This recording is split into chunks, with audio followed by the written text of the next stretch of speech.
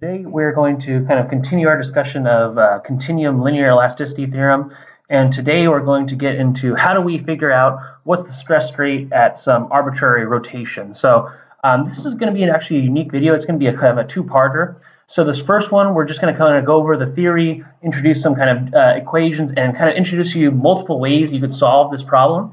Um, so again, whenever you're solving um, these you know mechanics problems, you can solve them any of the ways that I'm going to show you. Now, um, I'm going to suggest kind of one particular method um, because it's kind of, uh, at least for me, it's the way that I like to, um, it's the way that I can solve these problems uh, easily, and I don't have to kind of memorize equations. You can kind of uh, use this kind of graphical method. But again, um, you use whatever method works for you, and we'll kind of get going. So, uh, you are now all experts in uh, thin-walled cylindrical pressure vessels. So we talked about that a lot uh, last time. You know basically about the hoop stress, longitudinal stress. So hoop, longitudinal. We know that hoop is going to be twice our longitudinal here. We also know how to describe um, using this expression over here. So 1 ij is equal to 1 over e times, uh, excuse me, undo that really quickly here. Uh, let me erase that this is equal to, let me get back here, uh, 1 plus, a little bigger, 1 plus nu sigma ij minus nu sigma kk our Kronecker delta.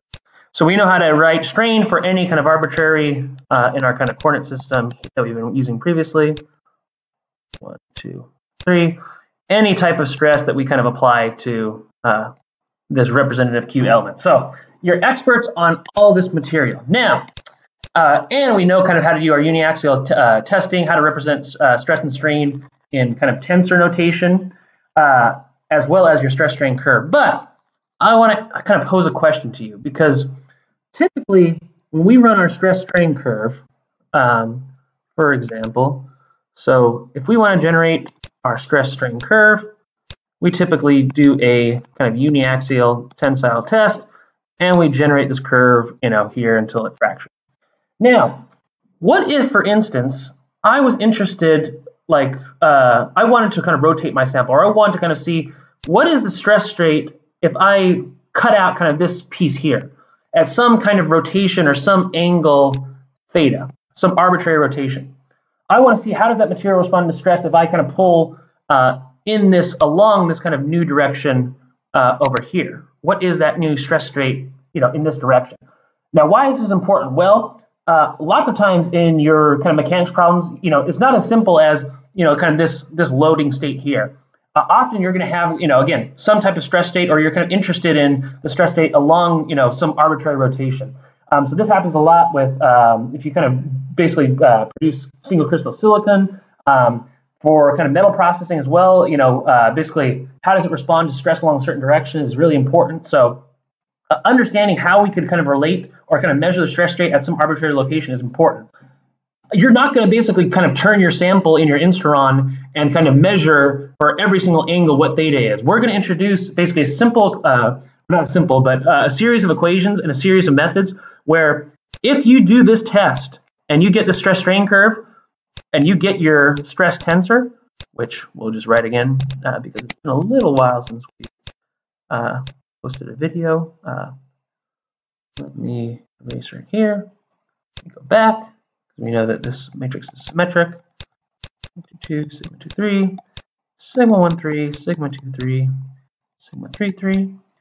We know once we had this stress state, we from this from this simple you know from this loading system here, we could figure out at any kind of uh, rotation or any angle theta how this new stress state will change along this new coordinate system. So how will this new stress state at some uh, angle theta, how will it change? So there's lots of different ways uh, you could kind of resolve stress uh, on this new plane of interest right here. So one of the first things you could do to kind of uh, figure out what is that series of equations is you could kind of use this kind of thought experiment. So I have this, uh, here is my stress tensor for this problem. So I have some stress on the x, x direction. Uh, you know, again, I use, um, this could be also one or two uh, as usual. Uh, again, any arbitrary state, but I have some positive tension in the x, x direction. I also have tension in the YY direction. And I also have the shear stress tau xy. I know it's shear because it's tau. I know this value here. And everything else, I can't see any stresses, so it's zero. What type of special stress state is this? We've talked about it previously. All the stresses are located in one plane. There's no z indices, so it is plane stress here. Just a reminder. So, how can I figure out now what is the stress state? You know, so this is the stress state in my original coordinate system. So this is my stress state in kind of x, you know, kind of y coordinate system. I want to figure out what is the new stress state at this kind of new coordinate system here. You can kind of see them, uh, x prime, y prime. So I'm going to rotate to this new coordinate system some angle theta to get from here to this new, this sigma prime. Uh, so we're kind of going to denote here. Uh, excuse me, that is my phone. Sorry about that. Um, anyways, uh, we are going to kind of figure out and try to get to this kind of transformation. So one of the ways you could do this is just kind of cut out this representative volume element here. So you make a cut at some angle theta, and you kind of take that slice out from this representative, this volume element, or this kind of uh, piece here. So we cut out our piece, and then you resolve these series of kind of forces here. So once you cut that piece out, you know how to do free body diagrams. You're all, you know, you pass statics. You're mechanical engineers. You're the statics experts. I'm just a lowly material scientist. I'm not good at this stuff, but I, uh, you know from statics how to kind of resolve um, kind of these uh, free body diagrams. So once you cut, cut that material out, you know that the forces, we have static equilibrium. The forces in the new direction, x prime, have to sum to zero. So we know that stress has units of what? Newton per meter squared. So we need to, if we want to get the force, we need to do uh, our stress times area. And so you can see that kind of here. So sigma yy times a sine theta. Again, we're writing all these stresses in terms of a new rotated coordinate system. So in terms of this angle theta. So I know you're all statics experts. You're, you know, you could easily do this in your sleep, right? On an exam, you could easily do this if I, I give it to you. You know that the stresses in the new x prime direction are uh, this, this, this, this, this, trivial, right? You can do this in your sleep. No, no, it's really, really difficult. uh, and it's incredibly difficult. Uh, and I'm going to show you why you don't want to kind of solve uh, mechanics problems in this way. But again, we're going to get to a series of equations by kind of doing the same thing. So we're going to sum the forces in the x prime direction. We're also going to sum the forces in the y prime direction, set them equal to zero. And we're going to get a series of equations that we're going to see right here. So lots of trig, lots of, uh, again, this is just math. Uh, I am not going to kind of show this to you because, again, you know, if you're interested in derivation, we can kind of go uh, through it together. But these are kind of your resultant equations. So again, this is how I can get my new stress tensor for any arbitrary rotation theta just from our previous uh, kind of stress values here. So all we do is plug in theta. What is our arbitrary rotation? And you're good to go. You can transform any coordinate system, and we're going to kind of see this in a second. So this is great. Um, however, uh, lots of times we're interested in kind of, you know, so this will show what stress is as a function of theta. But we're interested in where materials are going to fail or where materials are going to yield. That's going to occur at values of maximum stress here. Um, for ceramics, brittle oxides, glassy polymers, that's going to be at maximum normal stresses. So when is our normal stress, when is this maximized? For metals and composites, it's going to be typically fail at the maximum shear stress. So where is tau maximized? Well, how do we figure out what is our theta that maximizes our shear and our normal stresses? You heard that term maximum. I know we've talked about this enough times in class. If you hear maximum, how do we solve and figure out what is a maximum? You bet, you got it. We are going to take the derivative. Uh, we're going to differentiate uh, with respect to theta, we're going to set that value equal to zero, and we're going to find what is theta that maximizes uh, both tau max. So what is that theta value, and what is our uh, stress, our normal stress max function of theta. So to find the maximum or the principal stress state, the maximum normal normal stresses. So this is for maximum normal. We're going to use this equation. So again, we're solving for what is the theta that gives us our maximum normal stress state. That's called your kind of principal stress state. Uh, and once you kind of, you know, substitute back in and put this over here, uh, the tan theta is, uh, will give you these values. Where sigma 1, you can see sigma 1 is always going to be larger than sigma 2. So these are our principal maximum normal stresses. Uh, you can do the same thing for shear stresses and get this value excuse me, right here. So this is great. And it's a nice way, again, you know, as long as you, you know, you're really good at statics and you could kind of do this uh, kind of sine and cosine and derive this uh, and or memorize these equations for uh, memorize these equations instead, uh, you can solve problems like this. But if you're kind of on the job site or you're trying to do a uh, you're trying to do a a dare, you know, a back of the envelope calculation, or more importantly, if you're in an interview, are you really confident that you can memorize this expression and solve these problems? I know I couldn't. Um, so this is why I want to introduce you to um, concept that you'll hear and you probably hopefully you've already heard about already in mechanics courses, uh, and that is Mohr circle. So there is a graphical way where you could figure out what is my normal stress values, what is my uh, what is the theta that maximizes my normal stresses, what's the theta that maximizes my shear stresses, or what are the max what is my stress tensor in some new arbitrary rotation. So Otto Mohr was a German engineer uh, back I think in the 1800s, uh, and so he was when he was kind of going through these equations, he recognized that it had a very very similar form uh, that we've all seen before, but probably forgotten. And I know that I definitely uh, forgot. So again, Mohr circle, Otto Mohr, German engineer, 1800s. Um, so he saw if we he did you know he basically kind of rearranged some of these equations. You can kind of again see the derivation uh, a little further in the notes and go through it if you want. But he rearranged these equations and saw this has a very very similar form to an old equation that you've uh, probably forgotten, and that is the equation of a circle. So Otto Mohr, Mohr represented essentially the, any given stress state. So if you have a stress tensor, you can represent the, all the different, uh, you know, again, the transformation of theta to theta prime as a function of theta, you know, uh, excuse me, sigma. So you could transform your original stress state to your new, this is original, this is your new, new stress state. You could transform from your original to your new stress state just graphically by looking at kind of that uh, equation of a circle.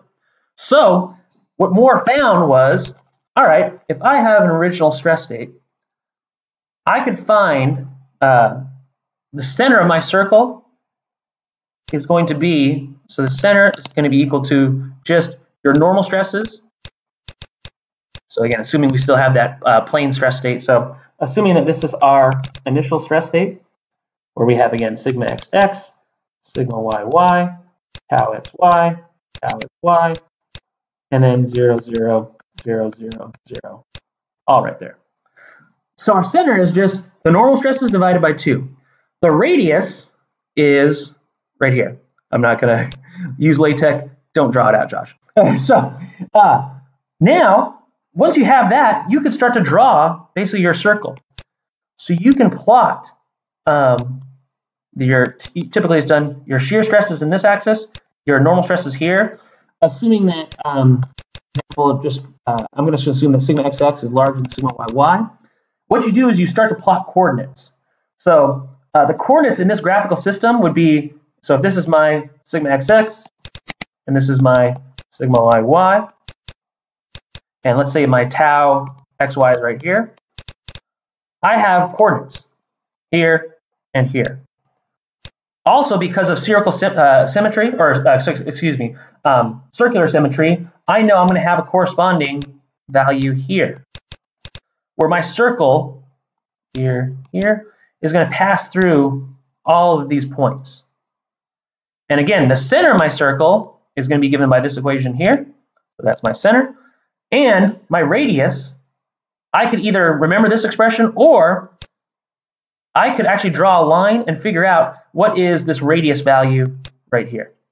And from that, we can figure out, okay, what's the rotation to get me to my stress state where I only have normal stresses? Or what's the rotation that's going to get me to where I have my maximum values of shear stresses. So we're going to do that a little bit more, uh, and it's actually easier once we kind of do this example. We can actually really kind of figure out and find, uh, essentially, and show you these values kind of quantitatively. And we'll show that the values match. So whether you do the first method or the second method, or the third method I'm going to introduce here in a second, uh, you'll be able to kind of see what I'm talking about. Now, I just mentioned a third method. So many of you probably have not taken linear algebra, but there is a third method to transform our original stress state to our new stress state using linear algebra and transformation matrices. So our rotation matrix or our transformation matrix is given by this value or this uh, matrix right here, T. So where C is cosine theta and S is sine theta. We can resolve. I could do this transformation or calculate. I could figure out my new stress state just by performing this operation right here. That's all I have to do. So if I ask you to figure out what is the new stress state at a, at a given value of theta, all you would have to do is plug this into Mathematica and solve. Trivial. Once you have the code written, it is straightforward how to kind of get to the next uh, point here. You can also do the same type of uh, rotate. We haven't really talked about strain yet at all, but you can do the same operation for strain.